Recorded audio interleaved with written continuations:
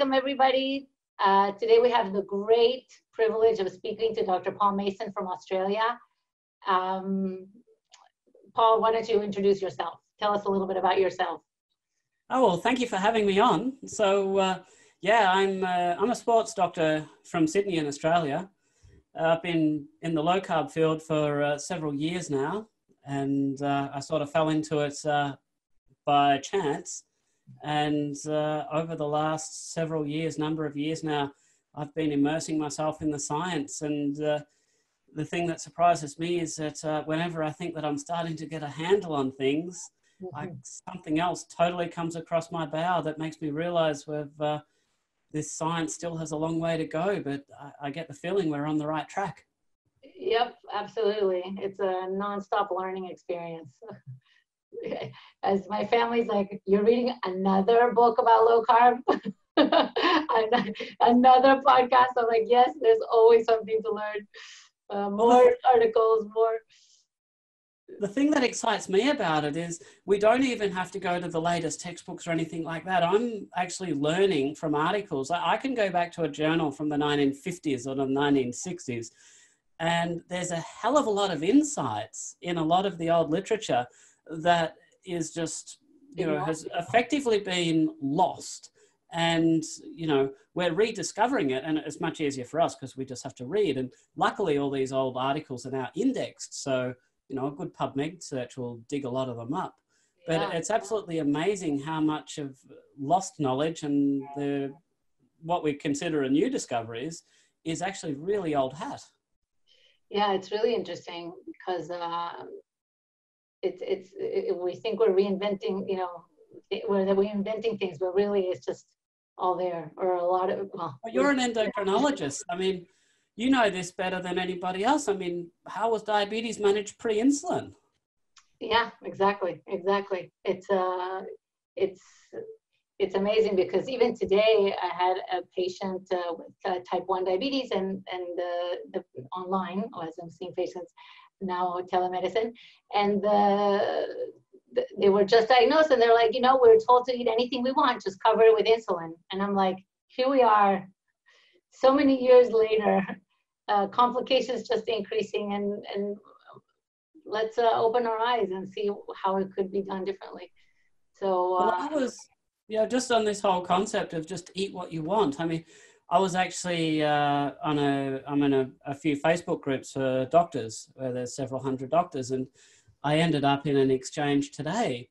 Um, and there were accusations about people talking about dietary management being guilty of fat shaming and so on and so forth. And the point that was made quite strongly was that uh, we, we by telling people that they should eat a certain way um, is actually going to be causing them emotional distress and we shouldn't be doing that to our patients. And for me personally, we've got damn good evidence that eating a certain way will be healthier. I think it's actually akin to negligence, medical negligence, if we don't tell our patients this. And yet, I ended up somehow in this online argument with some other doctors. And it wasn't just one isolated doctor who was saying well no well what if you tell them that they need to do this for the health? There was no argument that eating this way was good for diabetes. The argument was it would create cause emotional stress if they couldn't follow it. And i was just devastated by the the ignorance.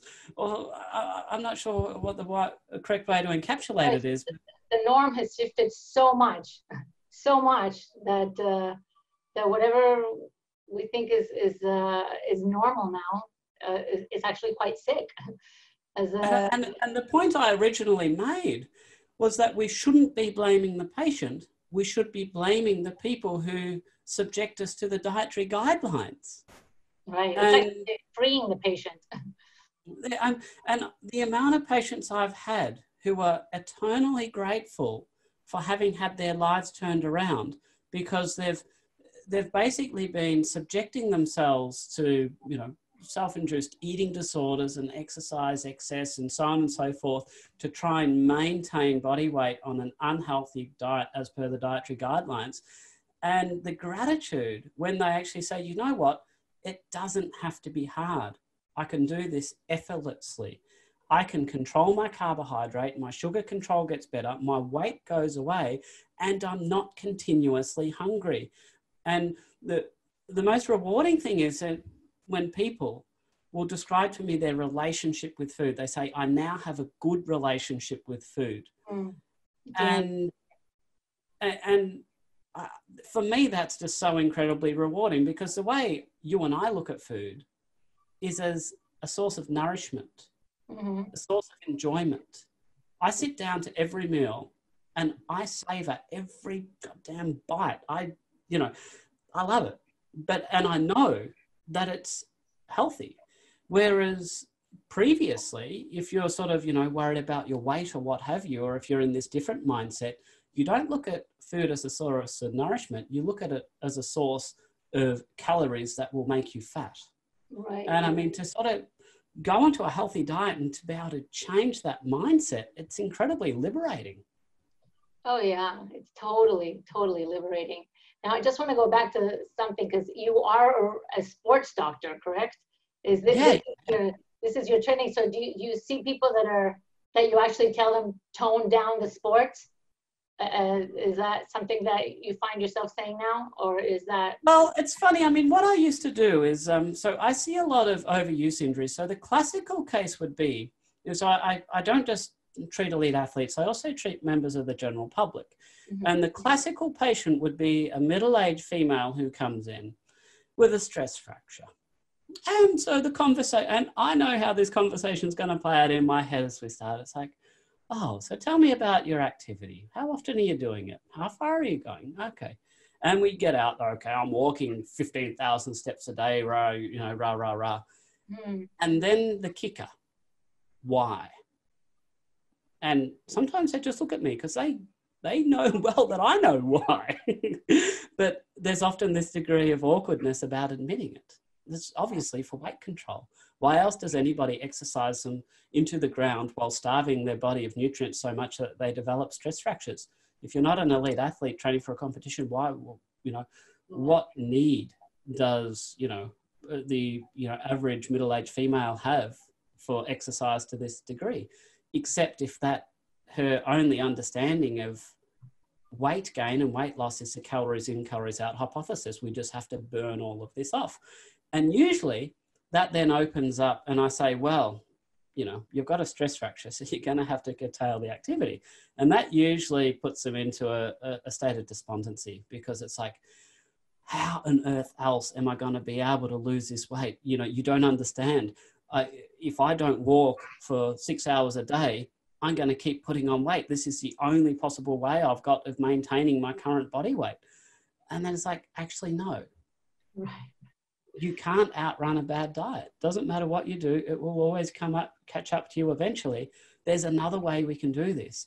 And you don't have to be hungry. You don't have to starve yourself to do it. And to boot, those stress fractures, which are probably contributed to by poor bone health, you know, which can lead to osteoporosis, so on and so forth, right. we can actually reverse osteoporosis with nutrition. So, and as an endocrinologist, you know full well about the drugs that we promote, with the bisphosphonate drugs, which actually the way they work. So they actually impair bone turnover, which right. doesn't mean much to the general public, but to you, you know that if you have impaired bone turnover, you have bone that's vulnerable to fracture. We have these atypical fractures in the big thigh bone when people take these.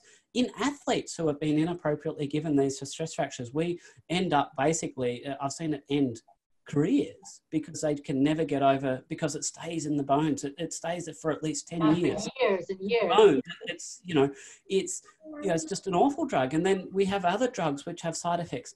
And this is our standard treatment for osteoporosis, and we can reverse it. Well, so let's talk about that. What do you randomized controlled trials? It's been proven that you can reverse osteoporosis with nutrition.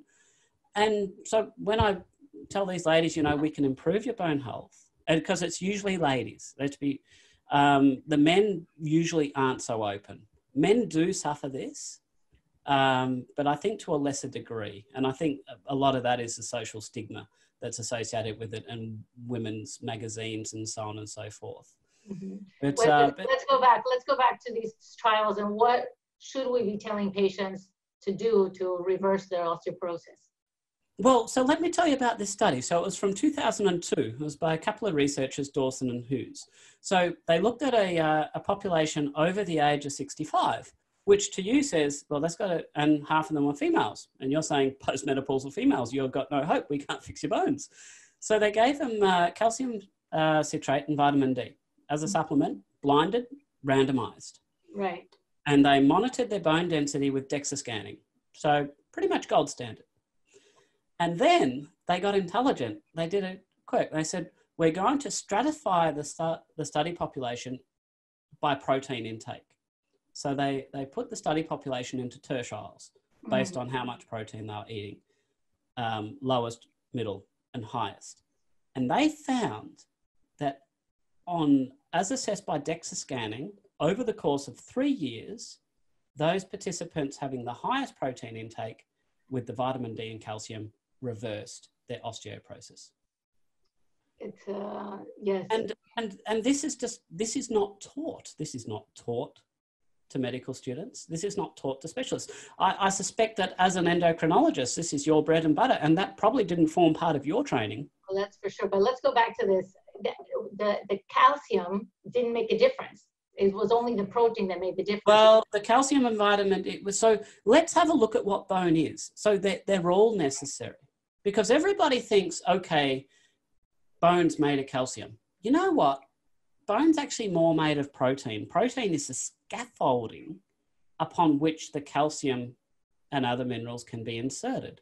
And vitamin D just helps your body absorb calcium. So we sort of, you know, we, we use vitamin D and calcium interchangeably insofar as this goes. So let's think what happens if you have low calcium levels in your blood? Your body's going to go, well, I'm going to break down the bone. I have to just break down the protein to get to the calcium to put a little bit of calcium in the circulation because we know that without enough calcium in the circulation, you can get problems. And then if you put a lot of calcium into the system, you reduce the body's need to break down bone. And that's what we've found over many, many years. If you give people calcium, you can slow down or, you know, put a pause on the degradation of bone. But you can't make oh. new bone because you're missing the protein. That's so, but although I, we, we have seen studies where giving calcium supplementation is just actually going to the arteries.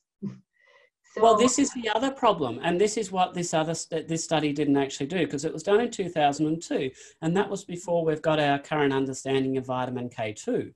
Okay, so let's talk about that. Yeah. So, uh, and uh, look, I'm sure you you know this well. So, I mean, vitamin K2 is a fascinating supplement because uh, it, it hasn't been well known for a while. The Japanese were probably the, the, as a country, the first country to start taking it seriously, which is interestingly because natto, which is fermented soy, is actually one of the, the foods which has got highest levels of it naturally, but it's also found naturally in cheese and it's also found naturally in pastured produce, like pastured beef. What? Sorry? Produce, like meat, pastured, okay. so grass. Okay. okay. Uh, we say I'm speaking the Queen's English, but not really. so, and so on a, you know, if you're having a bit of dairy and these kind of things in your diet, you're getting vitamin K2. Right. And the problem is vitamin K2 has a role in helping, I, I guess, to tell calcium where to go. Does it end up in blood vessels? or does it end up in your bone? And as you know, there's some uh, very good evidence that isolated calcium supplementation increases the risk of heart disease in females. Right. So certainly, uh, I don't advocate for calcium supplementation. I think it's something that you probably should get from the diet, and you get it from a lot of food sources. People think you only can really get it from dairy, and there's a lot of dairy intolerant people. And I'll often use the example of, "Do you eat eggs?" Mm-hmm. Sure. It's like, does a chicken have a skeleton? well, the building blocks for that skeleton must be in the egg, right? So, I mean, from natural animal foods, we can get calcium. So, and you don't need to go having, you know, heaps of dairy. The, the natural food that has a lot of it is uh, the small fish with bones like sardines. Um, they're very rich in calcium as well. But if you're going to have calcium, you need to be making sure that you get a, uh, enough vitamin K2. And if we're talking about bone health as well, then magnesium is certainly beneficial. But the, the key point to this story is you cannot neglect the protein. And that's often something that is underdone. So the recommended daily range of protein is about 0.8 grams per kilogram per day, which is absolutely tiny. We've got studies where people actually have literally five times that amount without any detriment, as we can see on their, their biochemistry, their blood testing. Right. Um, routinely, we know that athletes, if we, you know, uh, we've got studies where we give people already very high levels of protein, 1.8 grams per kilogram per day, and then we increase that to over three. And when we're having a look at their markers of muscle formation, we can see that that difference going up to three gave extra benefit. Oh, So oh, wow. okay. at the upper limit that we have on protein intake is absolutely ridiculous. And this whole business about it being bad for the kidneys, well, it, it doesn't actually bear scientific scrutiny. It's never really been shown. And if we think about it logically, I mean, we, we have kidney problems, say something like glomerular, uh, glomer, I'll put my teeth back in now for a moment. Glomerulonephrosis. I always stumble over that one. But anyway, you're losing protein into the urine coming from the kidneys. Mhm. So our response as a medical profession to saying, well, you're losing lots of protein now in your in your urine, you should eat less protein. Now, has anybody ever just stopped for one second? Like any medical student, when when we're taught this, did we stop for a second and think, hang on, you're losing protein, so we give you less? Is that logical? It's interesting because the entire world is hooked on this, right? Everybody believes that eating too much protein hurts your kidneys. And that we really, we still need good trials for this. Well, in actual fact, we- we've got some pretty interesting stuff. So we know that, um, I mean, the kidneys is an organ, like the heart. If you exercise the heart, your heart gets bigger. It's called athlete's heart. Mhm. Um, you're, you're, so we think that if you have a lot of eating a higher protein diet, your kidneys actually hypertrophy. The kidneys actually get larger. But that would suggest the kidneys actually have more functional capacity. So uh, I, I've looked in, I've looked for research that could convincingly demonstrate harm of a high protein diet against kidneys, and I'm yet to find it.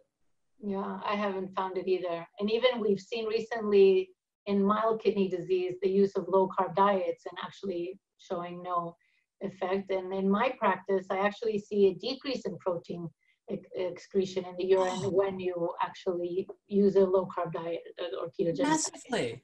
I mean, kidney health is uh, uh, so horribly misunderstood uh, on a lot of lines. And I mean, so I mean, the function of the kidney. So we often look at what we call the EGFR, and I hope you don't mind if we get a little bit geeky. I mean, the estimated glomerular filtration rate. Right, Um, which is which is- essentially the, the function of the kidney. How well does the kidney function? It's a measure. Yeah. So normally, when your doctor looks at your blood test, and he has a has a look at the, this number, and says yes, if it's in the reference range, your doctor will say, oh, your kidneys are fine. If it's not your kidney, you say, oh, yeah, you might have a problem. Now, first of all, the reference ranges we use on these tests are population averages. They don't reflect what good health is. I mean, that's a whole nother conversation. Mhm. But this EGFR, this is a calculated value, and that can be errant Mhm. uh, for a number of reasons. So if you have a very low creatinine, you will get a, a good calculation on your EGFR, which means that if you're what we call sarcopenic, very, very wasted, Right. your kidneys will look better than they actually are. Whereas if you're a muscular kind of guy, a lot of muscle, you'll have more creatinine. That will give you a reduced level of this. So we need to understand that these, some of the calculated blood values, this is almost like the Friedewald equation we use to um, guess what LDL levels is. We don't actually measure LDLs, we, we just guess it. Um, similar to kidney function, but measuring the amount of protein in the urine, now that's a good way of assessing kidney function. And I actually really like that because we do reliably see that it drops. And there's a number of lines of evidence that demonstrate that low carb diets, where you cut the sugar out, you lower your blood sugar, is actually beneficial. And if we take an example of a randomized trial, blinded study they done in diabetics, they give them a supplement called carnosine. Now, Mhm. carnosine is basically two amino acids joined together. And it's what we call a glycation inhibitor because it attaches to the molecule of glucose and it stops that molecule of glucose then attaching to the cells of your body where it can damage them through glycation. Now, when we give diabetics this supplement, two amino acids, carnosine, we actually see that it actually imp- reduces the protein in their urine and reduces their HbA1c, which is a blood marker of their average blood sugar levels. So we know that, you know, kidneys are one of these first things that get whacked on the head when you're sick. Why, why aren't we using this more often? well, my patients use it. Yeah, well, I should be using it too. I, so the, the literature, and this is not medical advice, but the doses used in the research is 500 milligrams twice a day, and it's called carnosine, C A R N O S I N E. And I would point something out that the Latin root for the word flesh is carne. Carne. Carne. So this is actually deficient in vegetarian diets. It doesn't come from from non-flesh foods. So and this is why veg- Yeah, go ahead. Oh, No, this no. is why vegetarians more than anybody else ought be supplementing with this. Yeah, I know it's uh, it's very very interesting what you just said. Very very interesting. I I, I think this is one of the issues that make this diet so hard to accept by the medical community. You know, the, the the fear of the kidney. So we we've among other things, of course, num- cholesterol being number one. But uh, so how do you handle the cholesterol issue? What do you how do you? Well, actually, let's talk about another pet peeve I have with the kidneys. okay, please. So, and, and this is more from an athletic construct, and we seem to have this inability or this fear of letting people have concentrated urine. So, as an athlete, we we get them to pee on a urine dipstick and say, "Oh, it's not dilute enough. You must be dehydrated." And this whole fear of dehydration, which is just bunkum. And in actual fact, so what we actually did, we did a study at the Australian Institute of Sport. Well, what they found was that by telling people to drink more so their urine was dilute in the morning, they, they had to drink so much that they'll wake up in the middle of the night to pee, and the sleep disturbance was impacting their performance more than anything else. And what I actually tell people is, as you know from medical school physiology, one of the first findings that the kidney is starting to lose its function, in addition to the, the traces of protein, is the loss of concentrating capacity. Basically means that your urine, normally you should sleep through the whole night, your kidneys are doing their job, and it will have very concentrated urine of a small volume that you don't need to empty out overnight. If your kidneys start to fail, you they can't effectively concentrate, so you have to end up with much larger volumes, which inevitable, inevitably will wake you up. So this whole notion that you have to drink and keep your keep your urine clear, and if your urine's not clear, you've got a problem. No, the body, with you know, the body's smarter than that. As um, as I was told when I was a resident trying to calculate precise amounts of magnesium and potassium in intravenous fluids, you know, the, the dumbest kidney is smarter than the smartest intern. Oh you know, yeah. the kidney does a wonderful job.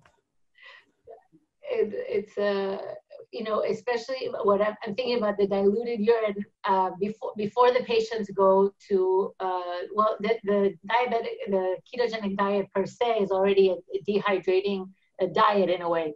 So the question is when the patients go to get their lab test usually they have high BUNs uh, you know urea in, the, in their urine. This is my experience. And i don't know if what maybe for you, you the BUN is, is, is a different norm. Urea so so nitrate so if i see the urea high one it could be because they're now eating more protein and it's also because i have every single patient do the tests fasting i actually believe the morning fasting tests give more validity with with better reproducibility Right. um, so I, I really have no issue um, with the uh, you know with a high BUN, as it were. Um, I've never seen any issues with it. I tend to ignore it and I just reassure people.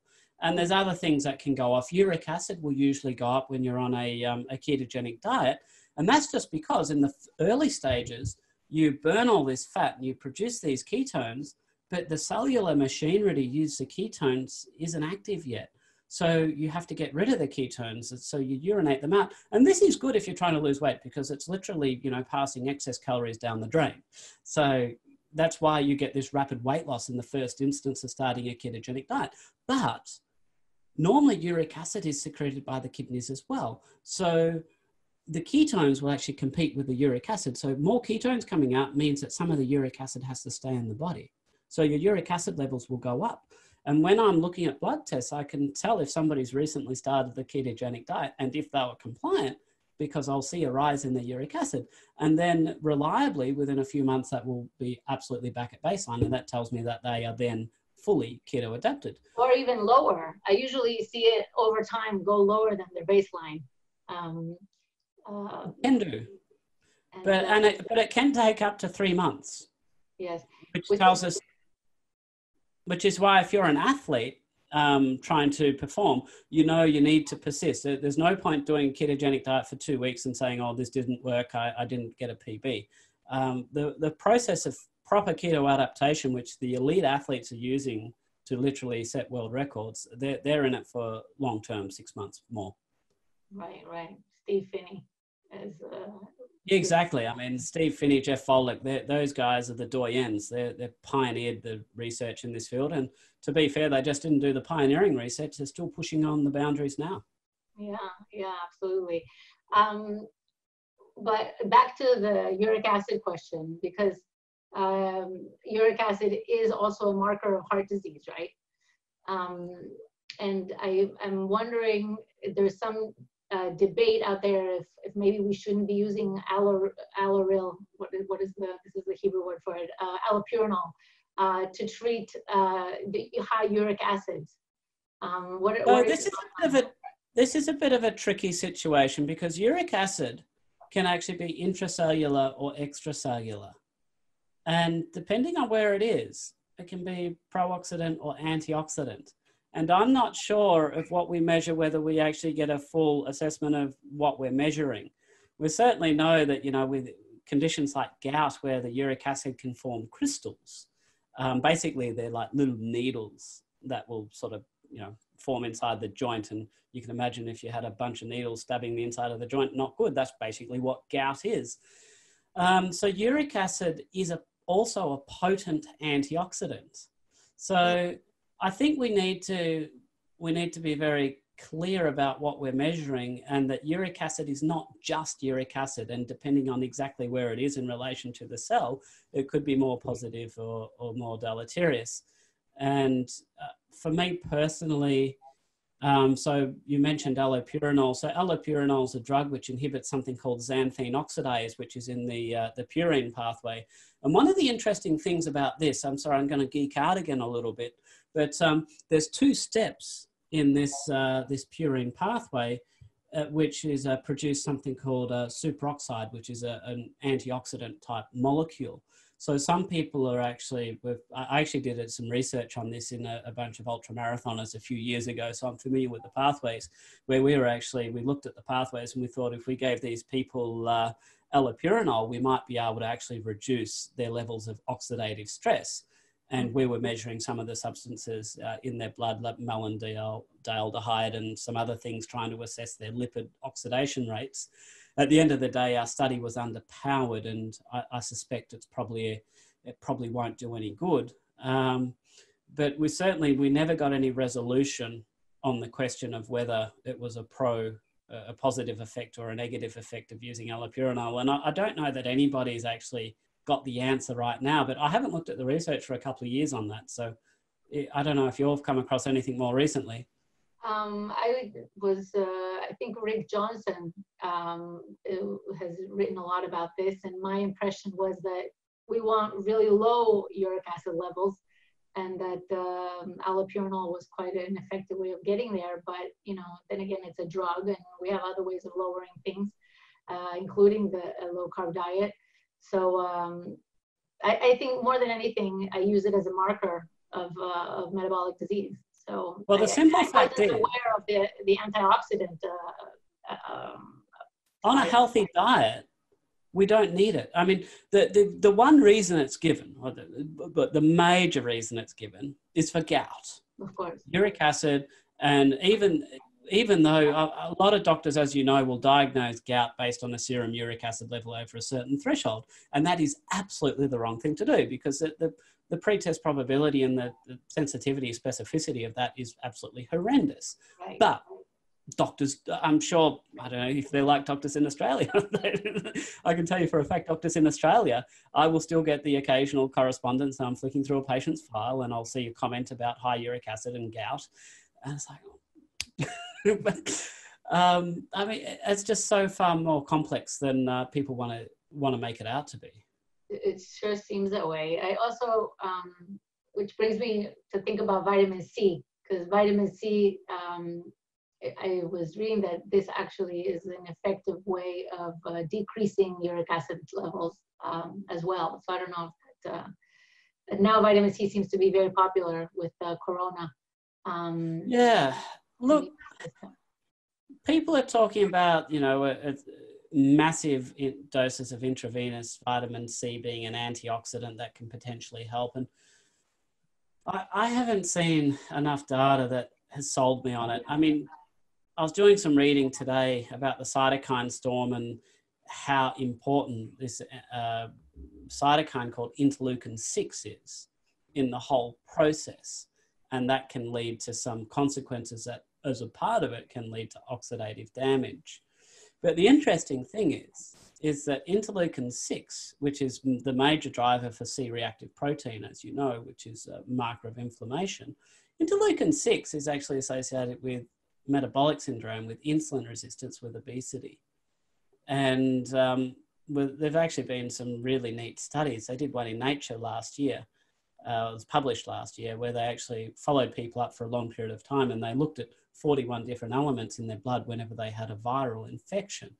And they actually found that their cytokine level at the start of the infection between people who were healthy and people who were insulin resistant was the same. But those people, and these cytokines include things like interleukin 6. But she had this lovely apple tree. The apples, that big, not that sweet. And, and they were, everybody loved them, you know, that heaven forbid, you know, the, the tree was covered in curtains and all that to keep the birds out. I mean, everything was done because that was precious cargo. That was fruit. So we haven't realized now that the fruit we have today they're mutants. They, mm. they have no resemblance to the fruit that we've evolved with. They, they're, they're just full of sugar. This fructose is actually far worse. Um, so people talk about fructose being fruit sugar, by the way, which we have to correct. It is not all sugar in fruit is fructose. Um, on average, it's probably about 50 50, but some fruits have higher percentages of fructose, some have less. So fruit usually has a mix of fructose and glucose, but the fact that it has fructose in it is particularly deleterious to our health. So we've had these, historically, we've had fruits that have been a lot smaller, and we've had fruits that have been seasonal. Yeah. It's only, you know, the fruit's only in, you know, ripe for, you know, matter of weeks every year. Now we get to gorge on it year round. It's much like honey. You know, yeah. it, go to the supermarket now, buy a jar of honey, fantastic, easy. Well, think how it was for some of our ancestors who said, There's a beehive, go get the honey. not, not that hungry. I'm sorry. I don't want to get stung today. I mean, so these things about natural foods being particularly healthy, they do have a role. They have had a role uh, in terms of, you know, perhaps you fatten yourself up before winter or mm-hmm. something like this it's much very similar to insulin resistance. Insulin resistance has a natural physiological role, as you know. If you're going through puberty, that's a stage of insulin resistance because that's where, especially if you're a female, you need to be getting some fat stores. Or pregnancy, that's another state, uh, natural physiological state of insulin resistance. But aside from that, we don't need this insulin resistance. And if you're going to be gorging on these sugary treats year round, you know what? You're going to be insulin resistant your whole life, not just through puberty. Yeah, yeah, yeah. It, it's the, the fruit is very tricky because it is natural and then and really throws people off. So along those lines, I want to pick your brain on something that um, I think about quite a bit, and which is um, there's there's the thinking that metabolic syndrome is caused by basically over passing your personal fat threshold. Basically, no more space within your fat cells, and then things start to spill over. Um, that I think that's one way of looking at the beginning of insulin resistance. Um, another way is to say um, it's actually the fructose that's uh, caught wreaking havoc in the liver, and when you remove the fructose, actually the insulin resistance goes away. Um, I think that they're both coexisting. Both things happen at the, are, are present, but I but I still wonder what is the the the more prominent the root uh, cause. Yeah, I think I agree with you that they're both happening at the same time, but I I think if I had to pick a causative mechanism, a root cause, I think it has to come back to the liver. And some of the other justifications, we know the toxic effects of fructose in the liver. Um, I mean, and there's several reasons for this. It's because the fructose cannot be stored as glycogen. It doesn't have that that blow off valve, if you will, where you can actually take a certain amount of it out of the equation. Where you have fructose, it's going to be processed um, metabolically by the liver, and if you exceed the processing capacity, then you you stimulate de novo lipogenesis and fat formation in the liver. But the other line of evidence, which I find really interesting, is the fact that when we have oxidized oils, these oxidized oils will directly damage the liver and they appear to directly contribute to insulin resistance as well. And so that's actually, that's not an effect that's happening in the periphery, uh, the subcutaneous fatty tissues or anything at all like that. Um, and you know, as we understand more and more about these other, you know, fancy chemicals like retinol binding protein 4 and these kind of things, and we've got these electron micrographs of, you know, oxidation damage in the livers of, of rodents.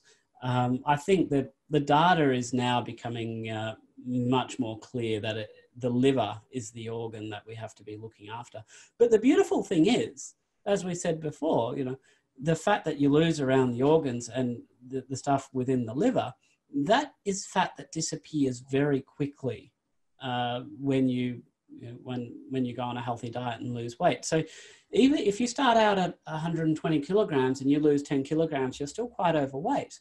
But I can promise you, there's a very good chance that you, well, you know, if you're not metabolically healthy, you will be on your way to being metabolically healthy if we were to measure things like insulin resistance and glucose levels. It only takes a, uh, a rather modest amount of weight loss for people to start getting these metabolic gains. And I don't know if you concur, but my feeling is it's all about the liver yeah, it's it's uh, it to me the liver is I don't know how to partition it because I, I still the the personal fat threshold theory or uh, you know I guess there's enough evidence to, to show this is also happening. So I don't I just don't know what is more important. But I but clearly it's an endocrinological origin you know, we, we do have, you know, I mentioned interleukin 6 before, which leads to CRP. You know, we know that comes from adipocytes. Yeah, that's what I mean. So you, you kind of have to have both in a way. But also what we do see is that even even if there's zero weight loss, even I, if I don't have any weight loss on the scale, I still see improvements in metabolic uh, markers. And I, and I think that's happening because we can't, we're not measuring the fat in the liver, but somehow it's it doesn't have to be that much to see a, an effect. Um, oh yeah, and we, we see this with exercise too. So we know that exercise is really terrible for losing weight. But when we do these DEXA scans on people, body composition scans, what we do see is a redistribution of fat.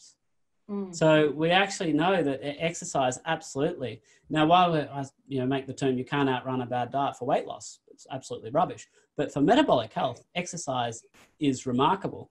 And let's be fair, if it wasn't for exercise, you know, well, all of our athletes, who by definition are exercising, they'd be diabetic much earlier. So we have guys like uh, Tim Noakes, who was on an incredibly high carb diet, you know, is the inventor of these energy gels. You know, he, this, he, uh, he knew more about carb loading than anybody. Yeah. Um, and he probably did it better than anybody as well. Um, he would have probably turned up as a type 2 diabetic decades earlier were it not for his marathon runnings. yeah, on the flip side, he may not have been carbo loading if it weren't for the marathon running. So, but yeah, uh, say that. So uh, yeah, it's it's a, it's a, just an interesting question because uh, in in the end, the treatment is the same. It doesn't really matter, right? If, as far as the patient is concerned, if they just stop carbs and sugars, then they're going to see. Well, I think the interesting thing is, I mean, there's two other pieces of evidence that would point to it being more hepatic driven rather than subcutaneous fat driven. And that's the concept of TOFI, thin on the outside, fat on the inside. We see these people who are quite lean looking, and yet they're metabolically unhealthy when we measure their insulin levels and their glucose and so But don't on. they so, have fat? Don't they have fat anyway? Just not. Uh, I mean, I was under the understanding that visceral fat was still prominent in TOFI. No. Oh, exactly, exactly. But the visceral fat is the stuff that affects the liver. I see. I see. That's what you're. Okay. I see. Can't so, separate visceral fat from liver fat. I see. Okay. Well, I guess in my mind, what confuses me is that you can have. Let, let's. Uh, in in my mind, you the the carbs come in, the liver takes the de novo lipogenesis, the, the glucose gets converted to, to fat, or the fructose gets converted to fat much faster and then it gets shipped out into the fat cells as long as there's room for holding it in the fat cells. If there's if we if we don't have any more space, then uh, then it stays in the liver. This is kind of my my thinking about this. Is that do you agree with that statement or not quite? I I honestly don't know. Um, that's what I'm. that's what I'm trying to tease out. I don't know either. And it would be interesting that, and I don't know, but I will postulate a question: is if you were to have a diet rich in sugar but free of oils, free of oxidative stress, although that, that's impossible because blood sugar fluctuations have been shown to lead to the generation of oxidative stress from mitochondria. Mm-hmm. So it would be very hard to eliminate oxidative stress from the equation. Although um, you look at the Chinese, right? The Chinese before sugar was part of uh, their diet and they had a lot of carbs but without the sugar and they didn't have disease. So yeah another interesting line of evidence is melatonin which is a potent antioxidant. So most people don't realize that that's in the pineal circulation in the brain associated with circadian rhythms. Um, potent antioxidant so they've got blinded studies where supplementing people with five milligrams or 10 milligrams twice a day reversed fatty liver disease yeah, I heard about this. That's fascinating. Do you uh, use that, it?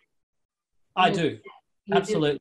Do? Um, so, I mean, I think that, look, the best thing is to reduce oxidative stress. And a couple of drivers of oxidative stress are fluctuating blood sugar levels, cut out the carbs, and any, any liquid fats, so oils. Um, they basically oxidize. So they, if you can cut both of those out, then fine.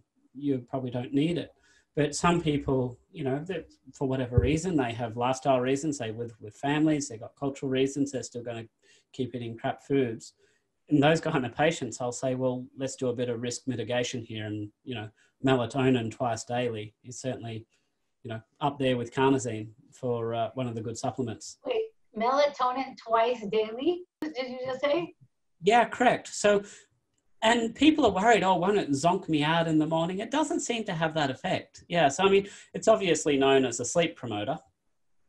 Um, but I, and I based my dosing off the science because that was the uh, that was what the studies that have shown improvements have used. So I think that's my justification.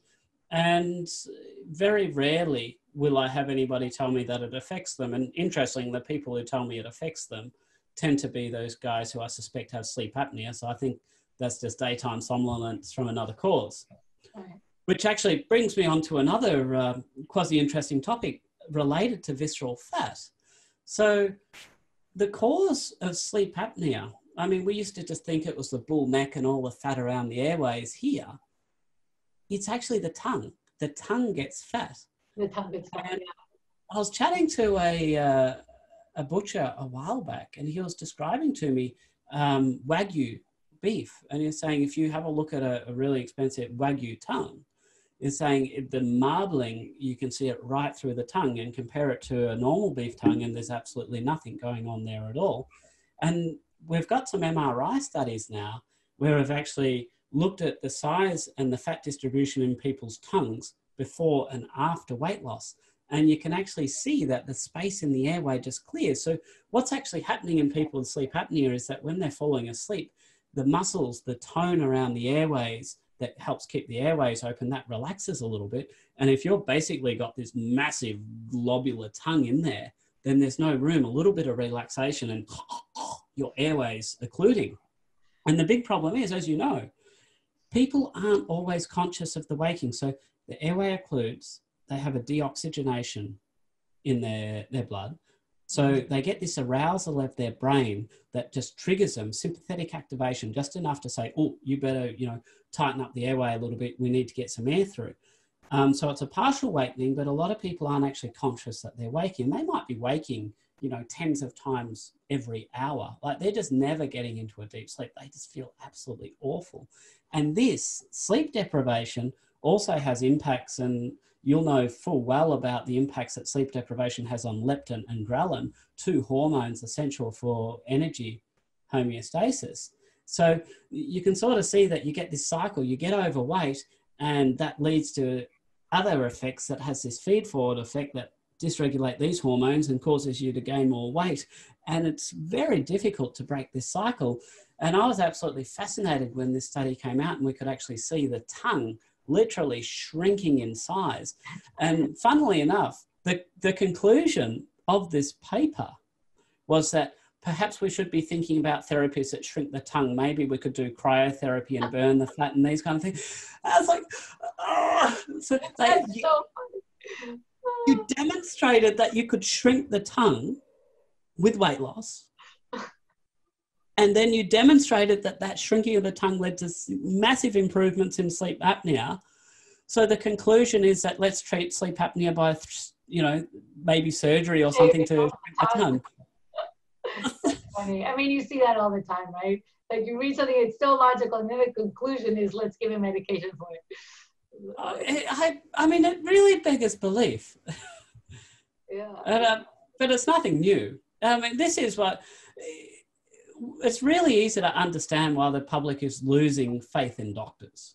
Yeah, yeah. But it's because we just parrot this stuff back out. Yeah, but I sorry, I want to come back to uh, the sleeping because I'm curious to hear what you you know what you use for sleeping. The, sleeping is so crucial to metabolic health. Period. So what mm. are what aids do you use? So clearly in melatonin. Well, quite honestly, I think basic hygiene measures, sleep hygiene. I don't mean wash your hands. I mean, yeah, wash your hands, coronavirus. But when we talk about sleep hygiene, we talk about simple things. So the first and obvious one is I say to people, what time do you go to bed? And if they can't tell me a time, it means they don't have a regular bedtime. Mm-hmm. Or it means they're embarrassed because they know it's too late.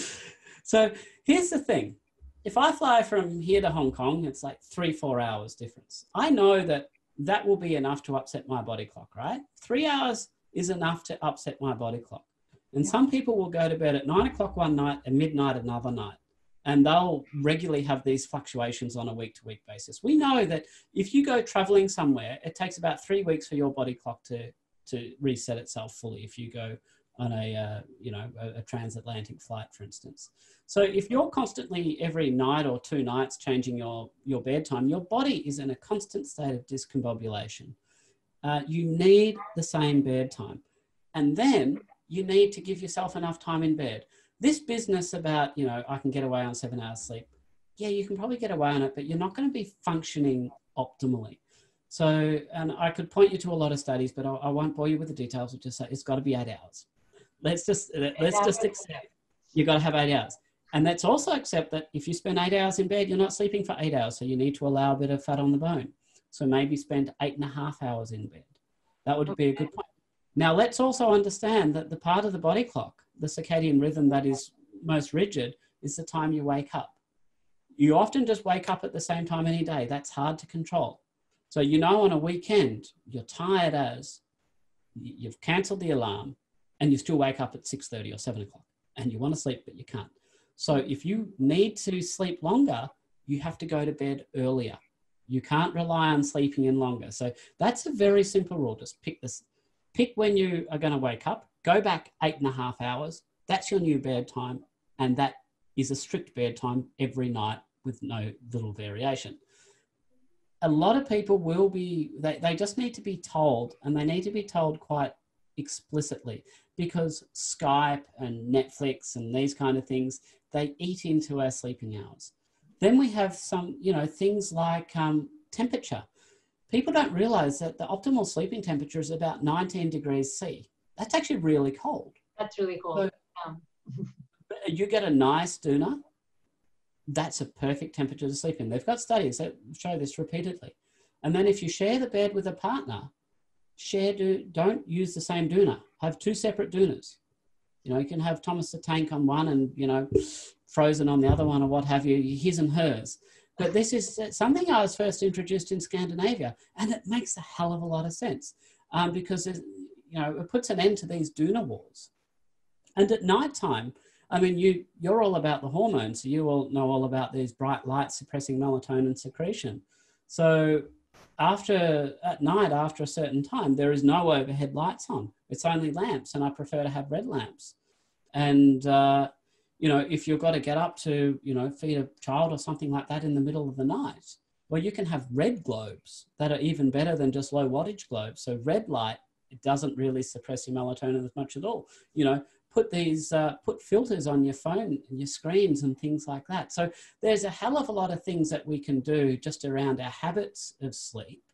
You know, focusing on temperature, habits, exposure to light, separate doonas, that actually for most people, will significantly improve their sleep. And because I really don't like drugs. So beyond melatonin, all these ones that we call the, the Z's or Zopiclone or Zolpidem or these kind of ones, they're, uh, you know, they have, they can induce what we call parasomnias and people acting out their dreams and they have side effects. Yeah, um, yeah. We have the benzodiazepine class, which are, you know, stimulate the same receptors as alcohol and they tend to be addictive. They tend to, uh, uh, you know, habit forming and they lose their effectiveness over time as well. So people end up dependent on them and they don't end up with any benefit. So, from a pharmacological perspective, sleep is really a, a dead end. There, there's no effective strategies that we have long term. Um, melatonin can help. Uh, and I would certainly say that the, a lot of the science on melatonin would suggest that uh, the homeopathic doses which we have in Australia are probably not that effective, and people probably need larger doses. So when I say the homeopathic doses, um, the the only commercial dose that you can get in Australia is two milligrams, I which uh, I don't know what you think, but for my money, that's probably inadequate. Yeah, well, there's a, a slow release formulation here of two uh, milligrams that doesn't show effect until about a month later. So we, we do see that. Um, but uh, uh, definitely, you're not going to see any uh, effect anytime soon. So, actually, one question I'd like to ask you as an endocrinologist uh, I do recall from medical school that melatonin signaling was involved in the onset of puberty. I don't mm. know if, uh, and there was a, a theoretical, uh, you know, we're, we're just advised to not use it in anybody under the age of 18. I don't know if there's been any further advances there. I don't know anything about that but I can tell you that I never heard of melatonin when I was in medical school. uh, but uh, I mean, certainly, I know that. Uh, well, if you think about the, it's a huge change in, in, the patterns of sleeping in teenage years, so something must be going on there. Um, who knows? Uh, Actually, one interesting thing that I would would be cool to talk about is um, I have couple of patients, type 1 diabetics, mm-hmm. who suddenly go on these crazy escalating doses of insulin without any real understanding why. And when I look into it, it's sort of the most likely culprits appear to be uh, antibodies. So, antibodies against insulin or antibodies against the insulin receptor. But you know what? It's really difficult to get a, uh, a test for that in Australia. If we actually want to get that tested, we have to send it to the US or to the UK, and it's prohibitively expensive for the most part. So I don't know if you have that issue. I mean, in the literature, when that happens, it seems to be actually really rare. Developing antibodies used to happen a lot more when we use porcine insulin, but now it's it's not that common. We it's kind of interesting that you're seeing that. I mean, this is something. I've only seen it a couple times. Okay. But, uh, and probably because I see a lot of diabetics. Um, but I definitely, you know, I more common for sure. But now we shouldn't be seeing that unless there's a specific reason sometimes you see a mismatch or, or if they're long, these are long-term diabetics, people who've been type 1 for a really long time? Uh, yeah, I mean, well, when we say a long time, five, six years, you know, th- these are sort of, you know, semi-pediatric patients. I see. I mean, the, the development of antibodies is very, very rare and usually ends up presenting with a mix of hypo and hyper uh. They can actually also get hypos because the, the antibody. Is that depending on if the antibody is against the receptor? It might be an activating antibody. Exactly, or um, it, it, or it could be binding to the insulin and then releasing. So then you have peaks and troughs that are not uh, so clear. But these are very rare cases. Right. Okay. And so, then, well, the problem is that knowing how to manage it is a headache. A headache. A headache yes. You look I at mean, the pathways of it. There's hard. There's nowhere really to go. I, I, are you using NPH still in Australia? Is that your main insulin, or you're using the longer acting, uh, um, you know, Lantus? I couldn't actually. I mean, there's a there's a bunch of formulations. Uh, I, am actually I'm not an endocrinologist, so I don't prescribe the initial insulin. Okay. So I I normally my job is not to prescribe the insulin, but to get them off of it. Right. Well, it'd be interesting to try a very, very low carb diet in these patients and see what happens. I mean, these the autoimmune response will improve. Put him on a carnivore diet and see what happens. well, finally, you should mention that. But this is how we actually know that I can actually be so confident that there probably is an antibody response because when they're on a tight diet and you start having these, we're literally seeing tenfold increases in insulin requirements in the space of six months. And it's like, you know, this is not normal. Whoa, wait a second. Say that again we're literally seeing tenfold increases in insulin in the space of six months. I mean, this is, on when you when you uh, when you stop the diet. No, no, when they're, when they're on the stable diet. Oh, on, the, on a stable diet. I see. And they're, they're already they're already sticking to the diet. I mean, the interesting thing is that we, we see a lot of um, the, the, the natural amount of insulin that some people need, even the type 1 diabetics is actually really small. You know, we see that what the basal requirement is something like 30 units a day. No, well, the number of, yeah. I know the number of patients who are on way less than that. Yeah. Well, no, the uh, requirements in general should be between 0.3 and 0.5 uh, units per kilogram per day. So if you have uh, well, insulin sensitive. Yes, exactly. So the type 1s supposedly are insulin sen- sensitive. So yeah. that's that's what I aim for. I aim for about 0.3 because you want you you want the lowest amount of insulin also for type ones, right? So sure. So uh, I, I I and you can achieve that. You know, there are patients that have been long-term diabetics who end up eight, nine units a day of, of basal, no problem. Some that we even get down further. But um, and, and that's a level where you're not going to be in, having too much insulin re- resistance. I mean, you're going to be basically having perfect health, normal lifespan with that.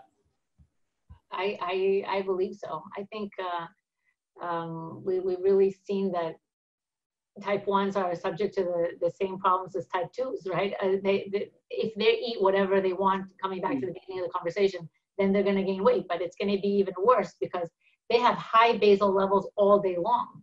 So yeah. all the, you know, in a very not just when they eat and then have a dip down to it. Like even insulin resistant people have decreases in insulin between meals to some to some extent, but type ones don't. If if they're on high basal levels, then they're high yeah. for very long, you know, very long periods of time, and that. I was that, intrigued. You mentioned carnivore diet. Yes. I mean, personally, I think uh, an elimination diet for a disease that is autoimmune in nature makes sense. So, have you had any patients who have done that? Um, you know, I have not um, treated patients with a carnivore diet in order to get rid of their type 1. Yeah. But what I have done is uh, I have a number of patients, and I know I should publish this, but um, just haven't gone around to it. But we have uh, about 10 patients who presented with type 1 diabetes, were on insulin, but fairly recently diagnosed, and then you put them on a ketogenic diet, but not carnivore, and then uh, are able to be off insulin already for years. And, um, and I, I, think that's really exciting, and, and I think people should know that it's worth trying. Uh, well, there are there are case studies. I mean, looking at the autoimmune protocol and stuff, with basically lectin elimination diets, mm-hmm. where you basically get incredibly prolonged honeymoon phases in type one diabetics. Yeah, I, have seen some of these. So I so I haven't tried getting rid of all the all the lectins, but uh, it's it's certainly on my mind. It's just uh, it's uh, something that, that we really should look into. I, are you, are you for another day? But you know, I'm I certainly I check all of my type two, and when I say type two, I, all of my every patient gets an antibody screen. So glutamic acid decarboxylase, islet cell antibodies, and you know zincate transport, all these kind of ones. Okay. And frequently, these guys who are clear cut type two diabetics are not clear cut type two diabetics. They have, you know, as you know, LADA, the latent autoimmune diabetes of childhood. Right, right. And I'm actually, and I certainly believe that people with that autoimmune component, I don't think a ketogenic diet is optimal for them. I think you really need to go on a low lectin diet as well. Um, and it just makes sense. I mean, if you've got, you know, type two, you know, type phenotype of insulin resistance, and then you've got the type one stuff where your pancreas is being smashed by your immune system, um, you know, and what do you heading. see? What do you see when you eliminate the lectins in the in this latter population? So just generally a much tighter glucose control. Um, is, so some people on a ketogenic diet, they still struggle with their sugar controls. Mm-hmm. And there's something about going on a low lectin diet that then improves that significantly, even over and above what a what a lect, what a, uh, a low carb diet will. And we also know that wheat germ agglutinin and concanavalin and a, you know other lectins have actually been demonstrated to bind to insulin receptors and to stimulate de novo lipogenesis and have these other effects as well. So anywhere where you think that you might have a, a lectin problem, and I think there's no better suggestion of that than having antibodies, an autoimmune issue, um, cut out the lectins and see what happens. It's absolutely quite fascinating that, you know, they've got studies where in animals admittedly, but when they, you know, they give them lectins, they gain weight. Their sugar control worsens. They take the lectins away, um, things get better. Yeah, yeah. I actually heard you say that before. Very interesting. It really is fascinating. It's just so hard to get people on a ketogenic diet to then take away the lectins. It's, it's, it's, it's not easy. It's very, it's, practically speaking, it's hard. But like you said, socially, socially speaking, I mean, if you tell somebody, oh, you know, why don't you just try and eat meat for a while? I mean, that's not going to go down well, I'm guessing. and what else? Well, no, just meat. that's it. I have to admit that I, I tried uh, being carnivore uh, over the last month, and it's been a challenge. It was, it's been quite the challenge. So um, I, I, have a lot of respect for the people who can do Is it. Is that pure carnivore? Well, yeah, I tried. Not, I didn't last the whole month, but I, okay, I really. So coffee or anything like that? Cheese, eggs. You know what? What? What? What kind of carnivore? Uh, no, I mean it was one. Of, let's say a carnivore light. Okay, carnivore light. But uh, but really, I tried to take away all the vegetables, most of the cheeses, and um, mm. So I wasn't uh, pure. But the thing is, I really don't have a motivator for to do it because I, I my labs are okay and I'm fine and I'm. But uh, but I I I just wanted to try for the fun of it to see what uh, what am I telling my patients to do? Like how hard is this? And yeah. and it is. I think it's pretty hard. But uh, I have a lot of patients coming in and telling me they're carnivore, and then listing all the uh, the foods that they eat. And it seems to be a common misunderstanding that if you you know, if you eat meat, you must be carnivore. It's like, no, no, no, no. No, no, I understand that. I, that Only I eat meat. carnivore, right, right. I mean, some people are going, uh, oh yeah, I'm carnivore. I eat meat. Um, that's sort of not how it works. No, no. But listen, I was eating much more liver than I ever tolerated, and uh, and you know, to get rid of vegetables is not easy. But uh, so here's a, I got a question for you. Why were you eating liver? It, it sounds like it wasn't your favorite food. That's true, but you know, I, I feel I felt like with the corona, I wanted all the all the vitamins and all the all everything I needed. I think is in liver, so I thought, you know, eggs and liver, eggs and liver. yeah. What what uh, you don't agree with that? You don't think liver is a superfood? I don't. I don't have a strong opinion on it. I I, I know that a lot of people do. You know, say that nose to tail and so on and so forth. I, I don't think you need to go chasing liver. If you don't like it, I, I think there's plenty of uh, you know people out there who are in great health who don't eat offal, who don't eat the uh, the odds and ends of the animal. And certainly, if we have a look at the nutrient analysis of things, and you mentioned eggs, I mean, eggs is nature's multivitamin. You know, you you know, as we said before, it's got a whole functioning organism that comes out of it. You know, there there can be nothing left wanting from a nutrient perspective from an egg yolk. So I think if you you know you're having enough foods like that, the nutrient density of animal foods by and large is so much more than plant foods anyway. Uh, I don't think that you have to have liver, right. you know, to top it up. And for me yeah. personally, I, I, don't eat a lot of liver.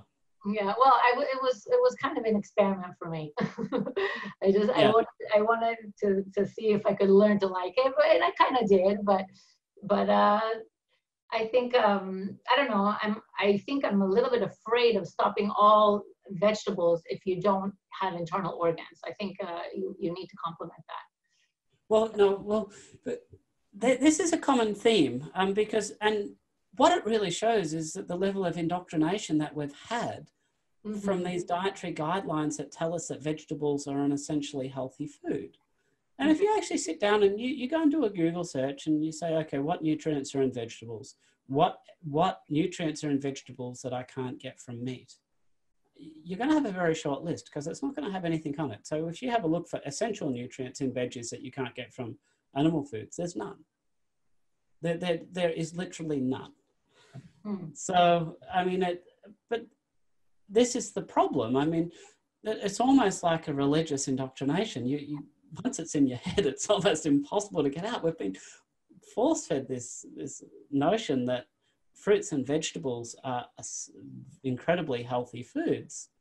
Right. And but what about what about the the the, the soup broth? This, what is your feeling? Bone broth. Bone broth.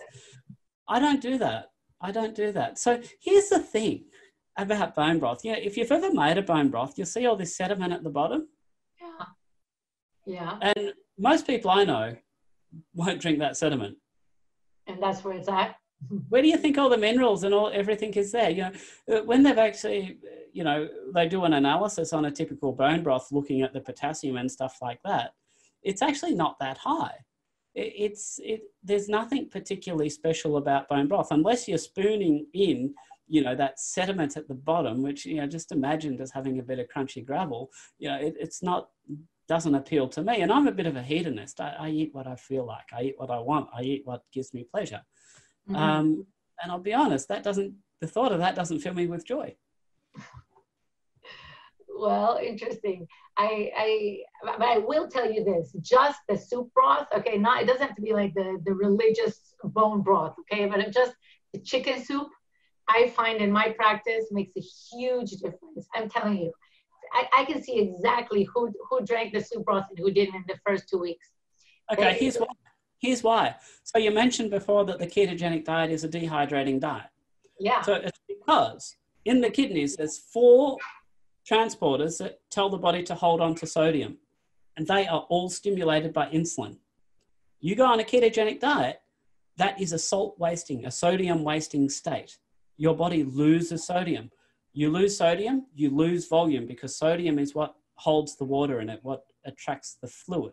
So that's how a ketogenic diet is a dehydrating diet. So if you're having a chicken broth, a, a, you know, chicken soups or what have you, there's a lot of sodium in that. that is basically correcting a sodium deficiency that reliably occurs when people start a ketogenic diet until their kidneys figure it out. Yeah, no, no, of course, and it's uh, but it's just amazing to see the result. I mean, it's just a, a before and after. It's it, there's something magical to this. It's not it's not it's not just adding salt to the meat or etc. There, there there's there's I guess the combination of the fluid plus the salts, but uh, well, there might be potassium in there as well. It might be a mix of electrolytes. If we have a look at some of the studies, so um, Steve Phinney, when they they did their studies on uh, you know back in the 80s on people getting them on treadmill tests and stuff like that, they figured out unless they aggressively and specifically supplemented with sodium, their performance suffered dramatically. They were basically incapable of intense physical exercise if they didn't get enough sodium. Yeah. And we have some other studies that show things like potassium and phosphate, um, nitrogen, which is basically protein, um, studies that you can't do nowadays. So they had people you know, on intravenous feedings and they were monitoring their, their body compartments, their bone, their fat, and their muscle. And they said, what happens if we just completely eliminate sodium from their feeding? Let's see what happens. So stuff that you couldn't do nowadays. So what happened? So their ability to form muscle tissue dropped by two thirds. What happens when they took potassium out? Their ability to form muscle tissue dropped by about 100%. Whoa. Okay. so these electrolytes and these other substances, they take, they have a, you know, we, we often pay lip service because we've heard it repeated, oh, electrolytes are important. But when you actually ask people, why do you think electrolytes are important? They can't give you a good answer. They just know, very similar to what you've just said, when you have it, you just feel so much better. And I mean, it's because it's maintenance of intravascular volume. And if you're trying to build more tissue, we, we have these things called intracellular electrolytes, extracellular. We know that inside cells you have a lot of potassium. So if you're going to be trying to form new cells, you better be providing the building blocks. This is the same theory as building bone. You can't build bone with calcium alone. You need protein. You can't build new cells of any sorts without all the required ingredients for inside that cell. That includes electrolytes. Right. that's why giving sodium is good for building bone. So in the Women's Health Initiative study, they actually looked at sodium intake and they found that a low sodium intake was significantly correlated with a higher risk of hip fracture. What, what are your ratios? What do you, how do you, how do you prescribe the diet? So how do I prescribe the diet? So that's different to what I do because I'm, I'm very much, uh, I eat a lot of food that's probably got enough potassium in it. I put salt on and I put a lot of salt on. If I was eating out, people look at me strange. Mm-hmm. And if I have too much salt, I figure my kidneys will sort it out. Um, for my patients who are, if they're insulin resistant, we know that a lot of people are underdoing magnesium. So there's one study that looked at um, magnesium in athletes, and the, we can't reliably assess body levels of magnesium on a blood test. That, that's the problem. And if we do it with the gold standard labeled urine studies and see what comes out in the urine, um, that's just incredibly time consuming and expensive. It's just not practical. But when they have done this type of expensive test in athletes, they found that at least 40% of athletes are actually deficient in magnesium. Mm. And magnesium supplementation has been shown to be beneficial with regards to insulin sensitivity and a bunch of other things. It's a uh, it's essential for over 300 reactions within the body. So magnesium is pretty high up there for what is often deficient and very low risk for actually supplementing with it. And it also has the other advantage that when you supplement with magnesium, you enhance the body's capacity to hold on to potassium. And that's good because potass- giving potassium directly is fraught. So if you don't have enough potassium, you can have an arrhythmia, which is an electrical instability of your heart. If you have too much potassium, you can have an arrhythmia. Same problem.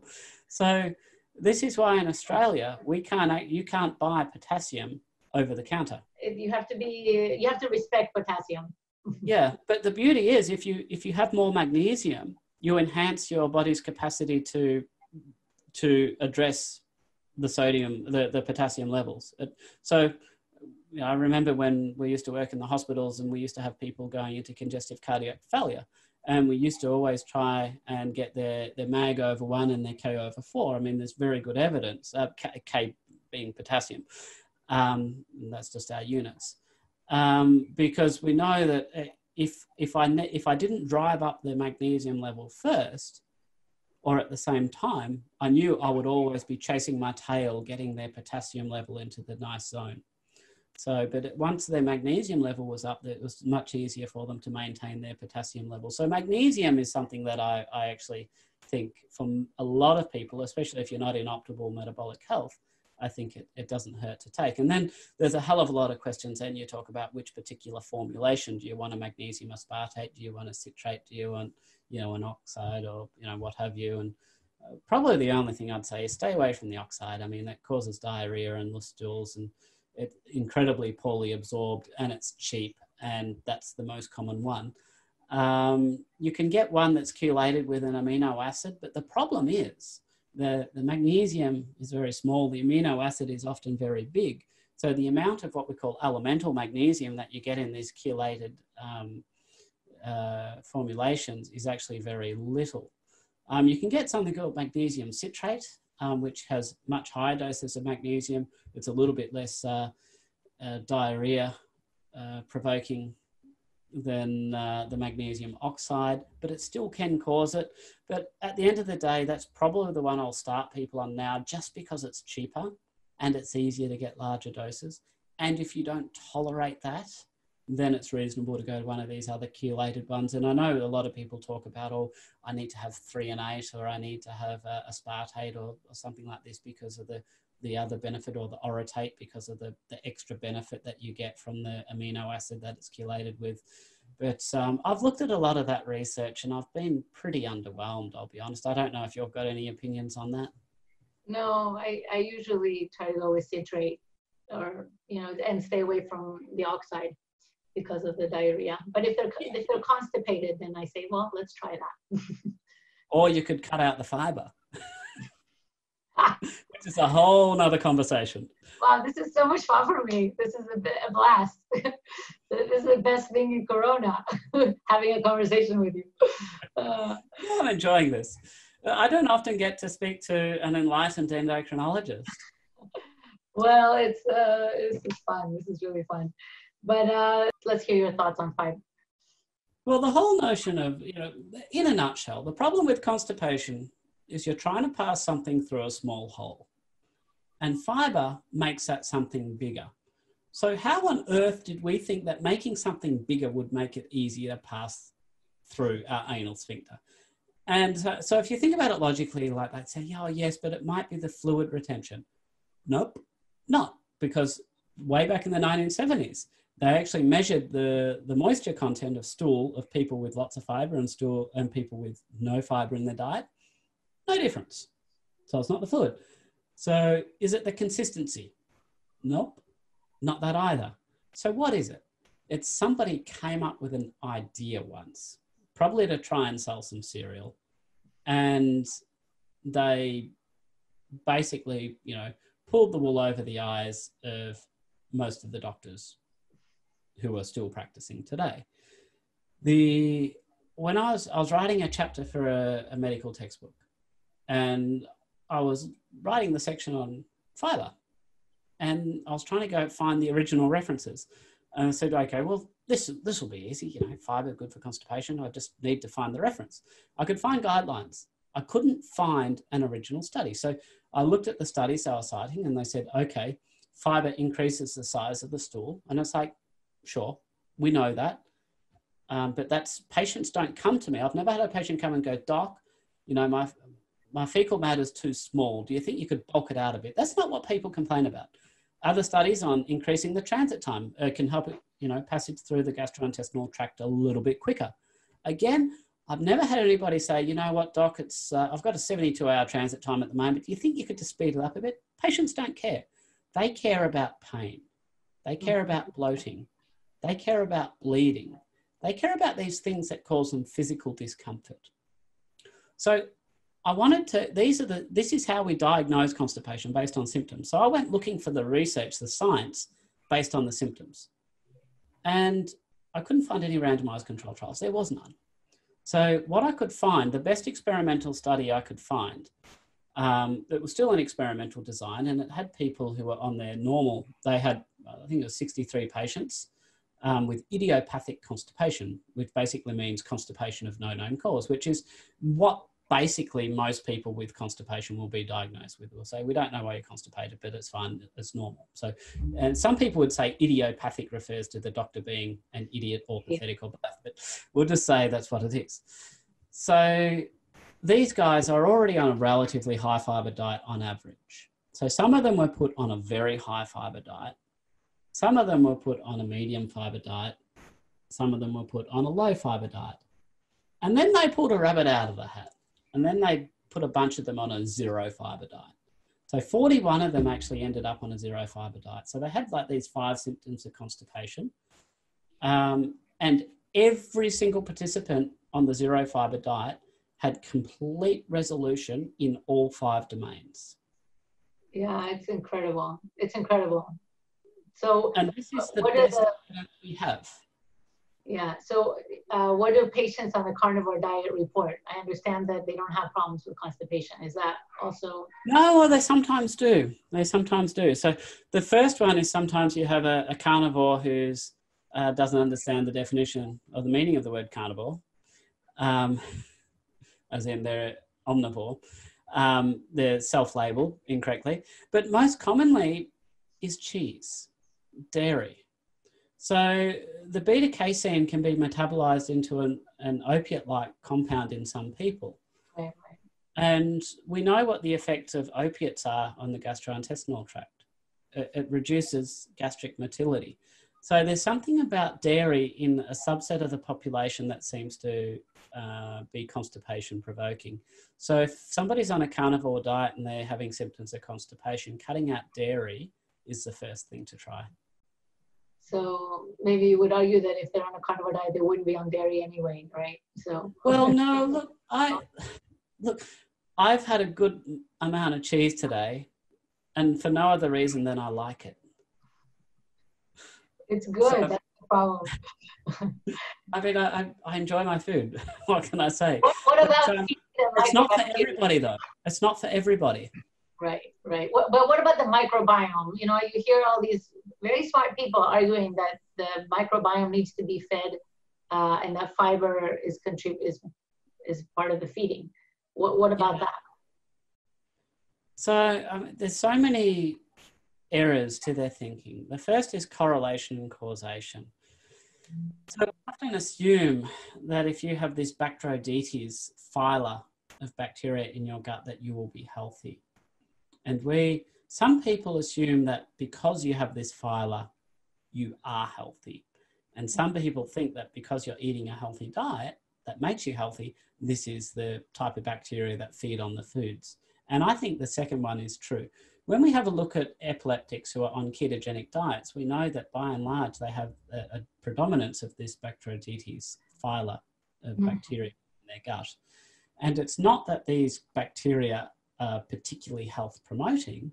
It's that the diet that feeds those bacteria is a low sugar, low carbohydrate, glucose stabilizing diet. So it, this, you know, correlation causation, I think a lot of people are going to be embarrassed in, you know, a few years time when they look back and this all becomes very obvious. It's also true. I mean, some people say, well, you know, the you can produce short chain fatty acids from bacterial fermentation of fiber, and those short chain fatty acids can be taken up to cells lining the colon, and those cells will then convert the uh, short chain fatty acid into a ketone that can be used for energy, and then that colonocyte with more energy can produce mucus and create a protective layer. So you may have noticed the link there between short chain fatty acids going to a ketone before it's used for energy. So make the ketones. why not be in systemic ketosis? And the reason for this is that fiber is only fermented in a very small part of the colon. And where, where it's fermented and these short chain fatty acids are produced, it's, these short chain fatty acids are only exposed to a very limited population of colonocytes lining the bowel. So if you've got pathology anywhere else in the bowel, then it's not going to do a lick of good. Mm. But if you're in systemic ketosis and had ketones going around your whole circulation, going around to the whole colon, the whole intestine, you'd be in a much, much better position. And then let's not overlook the fact that, you know, feeding bacteria the wrong things can be very dangerous. And we have no better evidence of this than something called Clostridium difficile, which can cause a condition called pseudomembranous colitis. Now, back in the uh, about 2000, some Japanese scientists figured out how to manufacture on an industrial scale a sugar called trehalose. Now, this was able to lower the freezing point of dairy, which made it really uh, a, a, very nice additive um, for things like ice cream. So it didn't take long for this to take off around the world. I think about 2002 or something, it got introduced to the food supply in Australia. And whenever this sugar trehalose got introduced, it correlated very nicely with the onset of an epidemic of pseudomembranous colitis. And that's because this bug, this pathogenic bacteria called Clostridium difficile, preferentially feeds off this trehalose where other bacteria, it basically feeding it trehalose allows it to outcompete other bacteria within the gut. It, it does a better job of eating that or fermenting that than other bacteria do. And that's been shown, and this is not weak research, and this is not just me theorizing. This was published in Nature. There was a couple of articles in Nature about this. Um, so we have to be careful that we don't want to feed the bad bugs, and that's for sure. Um, but also understand that this whole concept of taking probiotics is just bollocks. Because if I introduce bacteria into my gastrointestinal tract, I've just told you that, you know, if I change the amount of food you eat, you can outcompete or you can cause some bacteria to thrive and basically suppress other bacteria. And that's what happens to probiotics. If you have a happy, healthy probiotic, but you don't feed it the right food, they're not going to sustain there. We know that there's studies that show that you can get basically a wholesale change in your microbiome in 24 hours. So basically, bacteria die off pretty quickly, they outcompete very quickly. And in India, there's a condition called necrotizing enterocolitis, where we have a, basically an infection inside the intestines. It, it happens in um, very young babies and it, it's very dangerous. And they came up with a term called synbiotic because they thought, well, let's try and put in a, um, a probiotic to outcompete the bad bacteria. What happened? Those bacteria were just washed away, they were outcompeted. So then they gave it with another food source that these bacteria could use. So they fed the probiotic and the food source at the same time. So hence the term syn, as in synergistic, uh, for a synergistic effect, synbiotic. And that had a positive effect. So, as far as I'm aware, the only real role for probiotics um, from, a, from a health perspective with regards to travelers' diarrhea is where you need to be taking them in quite large doses and taking them continuously. So, basically, that they, uh, they sort of uh, suppress any pathogenic bacteria which you might or, or, compete with and outcompete any other pathogenic bacteria that you might uh, ingest inadvertently. But if you don't take it repeatedly or in high doses, then that's useless as well. And it's only ever going to be the short term effect. And we now have very good evidence that taking probiotics causes gastrointestinal upset in a lot of people as well. So they're not, they're not without side effect. Fascinating. What do you think about uh, artificial sweeteners along those lines? So artificial sweeteners. So if we have a look at the the polyol class, the sugar alcohol. So the first thing that a lot of people recognize is polyol. I've heard that somewhere before, and that's a P in FODMAPs. So you've heard about this fermentable oligosaccharide, disaccharide, monosaccharide, and polyol. These are things that are associated with irritable bowel syndrome. Um, so basically, you have this artificial sweetener, which is technically called sugar alcohol, and it gives you the sweet taste in your tongue, nice, but it's non-caloric, so it doesn't really get absorbed by the body. So it passes down to the intestines. So then what? So the bacteria will ferment it instead. What do bacteria do when they ferment it? They produce they gas. You get bloated. And if they don't, if it doesn't, before it gets fermented, it has an osmotic effect, so it draws fluid. So you end up with bloating and diarrhea. And that's why, if you have a look at the packet on uh, diabetic lollies or chewing gum or anything with artificial sweeteners, you'll see the warning warning, excess consumption may have a laxative effect. So, certainly, uh, if you're having any gastrointestinal issues, then you should be staying away from artificial sweeteners like the sugar alcohols. And the, as a rule of thumb, if it ends in ol, so sorbitol, you know, xylitol, mannitol, they're, they're all sugar alcohols. Right. But what about, say, stevia? Is that, uh, is that uh, something that, uh, that you recommend? Uh, look, the other problem with artificial sweeteners is addictive eating behaviors. So they, they stimulate the mesolimbic, the mesolimbic pathway. And basically, this is the pathway that rewards us for, uh, you know, we do something, we get this release of dopamine, we feel good, and it makes us want to repeat that behavior. The problem with artificial sweeteners is that they lead to an activation of this, this pathway as well. So if there's an, an eating behavior that you're trying to break, um, be it trying to get overcome an addiction to sweet foods, then the continued consumption of even artificial sweeteners is going to be contributing to that. Absolutely, absolutely. It's incredible how addictive they are.